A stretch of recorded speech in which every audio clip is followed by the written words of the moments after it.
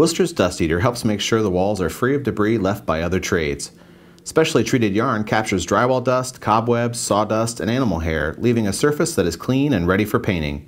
The triangular head and 360 degree pivot covers large areas quickly and still reaches into the corners. And when you're done, simply shake it out to clean. And it's compatible with Wooster's Javelin or Sherlock GT extension poles.